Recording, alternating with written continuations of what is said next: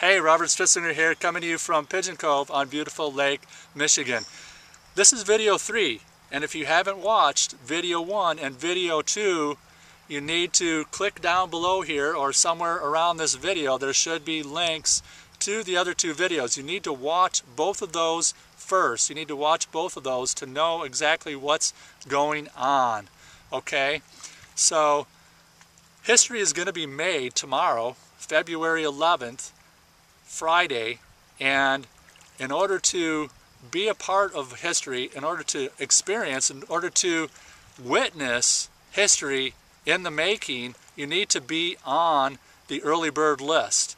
That means you need to also look around here, probably down below, and opt in to the early bird list so you can get your link for a front row seat to what is going to be happening with BlogBeast, when BlogBeast is unleashed on the internet Friday night, October 11th, you need to be there.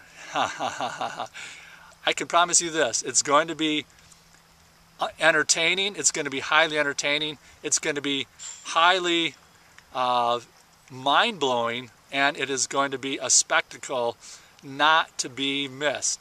Don't miss it. Don't be someone who has to watch it uh, somewhere else on some replay after it happens. So uh, get on the early bird list and get your front row seat today and be a witness to history in the making when BlogBeast is unleashed and basically starts to dominate the internet like that in a heartbeat, everywhere, you're going to see the domination of Blog Beast, viral blogging platform.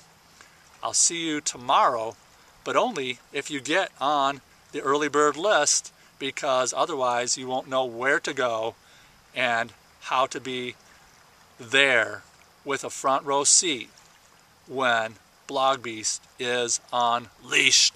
Ah!